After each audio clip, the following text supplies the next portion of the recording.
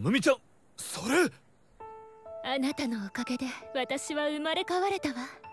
今の私はヴァンパイアノーブルバリアント。そしてようやくあなたに伝えられるわ。ヘカテリーナ。それが私のマナ。名実ともに。Alright, R.E. Monster. That is all she wrote, my friend. Spring season of R.E. Monster is officially done. The first season, potentially the only season of R.E. Monster. Crossing fingers that that's not true, but potentially the only season of R.E. Monster is complete. It is done. And uh, if you check my diary, uh, hey, we have another day today. This is damn. And I did not have in the diary Gabji the grandpappy, the daddy of all the goblins. I did not have him dying this episode. Now, uh, like immediately, I was thinking of like, yo, Mushoku Tensei. If you guys haven't kept up with that, you know, not spoiling anything, but that hit me hard recently. I'm like, yo, what is up with all these father figures just dying in anime? Like, ugh. Uh, anyways, though, I didn't have that on my bingo card in my diary this week of Gabji dying. Uh, but it was a good send off for him. We found out that, which I think is is pretty good. Note Gabji was definitely an evolved goblin, but not to the level of anybody in the current Parabellum company. Like all of the all of the goblins who have stick by or stuck by uh or Oguro, all the ones who have stuck stuck by him at this point have far far and away surpassed every other goblin before them. They're Onis, they're this, they're Damis, they're Earthies, they're Minotaurs, they're they're out there, right? But we found out that this basic goblin had a pretty long-lived, long lifespan in the terms of goblin years.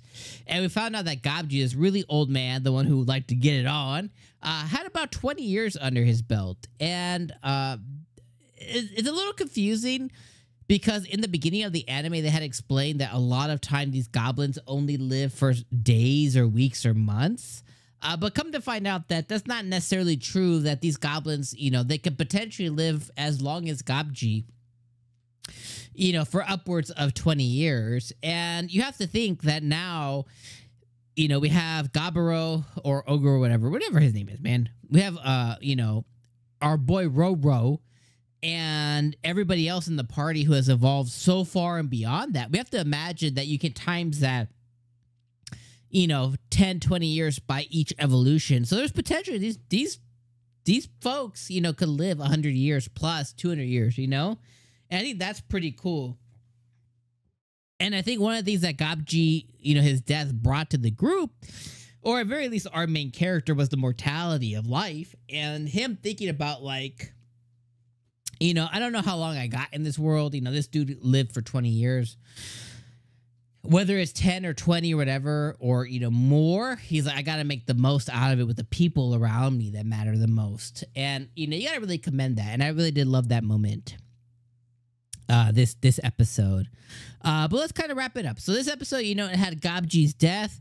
It had Dami's evolution into like a vampire. Uh, her her her she gave away her real name now. It's like uh, Keku Keku Kaku something. Uh, she gave her real name, uh, you know, to our bro now, and uh, her real name this episode was in fact, uh, well, she's also his concubine now, the Lord's concubine. Uh, but I was like, okay, Dami finally evolved, but um, essentially, what what the hell was her name? You know, uh, she's a noble variant now. Uh, He- Heki Heki Hekaterina. Hek Hekata Hekaterina. Hekaterina is her real name, I guess. But Dami's been facing a lot of different stuff, and she's been going through the depressiveness. And uh, through the help of Oguro, she finally was able to evolve into this true vampire variant, this queen vampire. And through her evolutionary line, the prompts had it that she went from like consort to concubine to like the Lord's concubine, and that's what leveled her up. So basically, she's the wife of Oguro now, uh, which I thought was a really, really cool thing. So that happened this episode. There was also a deal that Oguro struck with the princess the princess hooked him up with this really cool telecommunication device and basically said like, "Hey, I'm gonna need your services for later, but this is your princess get out of jail free card of the empire or the kingdom or whatever."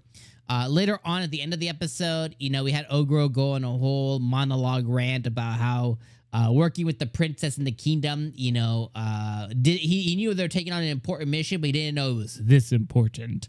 Uh, basically hinting that there's some there's some stuff gonna happen if they do happen to get a season two, which I think is really cool. Uh, and after that, it was just really the death of Gabchi and finding out that the cave that they once lived in, that uh, uh, Ogre Kichi and Earthay, like they really put did it to the nines, and they built like this like demon lord type castle entity in the cave, which is dope. Like all kinds of rooms and like you know very castle vibes, which I thought was really dope. Uh, and really loved, and they now have a really cool place to live, and I think that was a big moment this episode too.